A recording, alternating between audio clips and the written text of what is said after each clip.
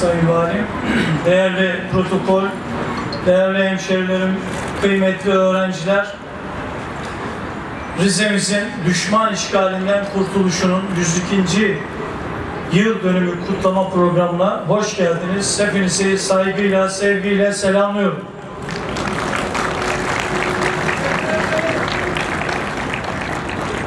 Az önce komutanımızın güzel izahıyla beraber 6 Mart 1916 ile 2 Mart 1918 yılları arasında 2 yıl esaret altında yaşamış bir dönemden bahsediyoruz.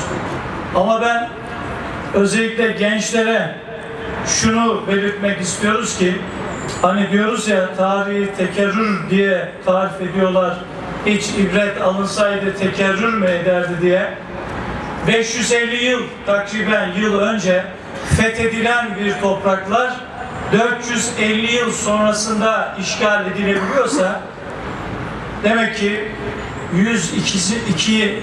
102. yılını yaşadığımız bu işgalin üzerinden daha şuurla, daha hassasiyetle memleketimize, ülkemize bakabilmemiz lazım. Biz ülke olarak, millet olarak ne kadar güçlü olursak, ne kadar bir arada olursak o zaman bize düşmanlık edenler de gözümüzde o kadar küçülecektir. Tarihi dönemlerden geçiyoruz. Bu ülke, bu vatan bin yıl bayraktarlık yapan bu millet, bu vatana bayraktarlık yapan bu millet bugüne, bugünlere kolay gelmemiştir. Gençler, onun için tarihi çok iyi bilmek lazım. Rize'mizin tarihini bildiğimiz gibi ülkemizin tarihinde çok iyi bilmek lazım. 2 Martlar ve kutlanan bu tip programlar aslında bir tarih şuuru uyandırmak için, geçmişi anmak için, oradan ders çıkartmak için bizim için önemlidir. Yoksa bugünler gelip geçiyorlar. Bizim çocukluk yıllarımızdan beri hep 2 Mart'ları bu şekilde kutladık, kutlamaya da devam edeceğiz. Ama bizlerde olması gereken şuur bu ülke için, bu millet için neler yapabiliriz, nasıl çalışabiliriz, nasıl başarılı olabiliriz konusunda daha da şuurlu hale gelebilmemiz lazım. Birinci Dünya Savaşı dönemlerinde hakikaten ülkemiz bütün coğrafyadan askerler savaş meydanlarında dört bir tarafta cephelerde ya şehit düşmüştür ya da oradaki imkanlar içerisinde kendi memleketlerine dönememişlerdir. İşte bizim hemen yanı başımızda 22 Aralık 1914'ten 15 Ocak 1915'e kadar Sarıkamış Destanı. Sarıkamış bölgesine gerek Artvin'den, Rize'den, Erzurum'dan, Trabzon'dan bu bölgeden nice gençler, askerler, erkek nüfus oralara gitmiş. Geride silahtan yoksun, gönüllülerden oluşan gruplar kalmış.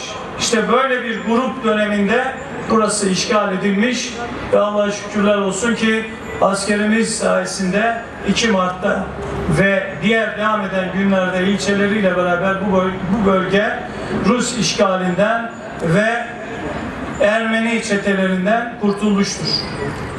Yine son olarak gençlere söylemek istiyorum ki hakikaten mahallelerimizden bakıyorsunuz İslampaşa'dan, İpsiz Recepler, Çifte Kavak'tan Mehmetler, Derekköylü, Muratlar, Kıble Dağlı, Ömerler, Hüseyinler. Bunlar bizim bölgemizden çıkmış değerli kahramanlar ve yiğitlerdir. Onun için 550 yıl değil, bin yıl önce fethedilen topraklar dahi bir gün geliyor. Siz eğer safsaklarsanız, eğer siz mücadelenizi yapamazsanız, güçlü olamazsanız işgale maruz kalabiliyor. Bu şuurla beraber, bu birliktelikle beraber e, vatanımızı, memleketimizi korumalıyız. Ben de son olarak bu duygu ve düşüncelerle gerek 102 yıl önce özgürlük, bağımsızlık mücadelesi için şehadet şerbetini içen şehitlerimize 27 Şubat'ta 34 tane şehidimizi e, yine vatan uğruna şehit vermiş olduk. İdlib bölgesinde ve şu anda Türkiye'nin güneydoğusunda ve Suriye bölgesinde çatışmalar halen devam ediyor. Bütün yiğit askerlerimize selam olsun. Şehitlerimizi rahmetle, minnetle anıyoruz. Gazilerimize, sağlıklı olanlarına sıhhatler ve ailelerine sabırlar diliyoruz. Hepinize teşekkür ediyorum.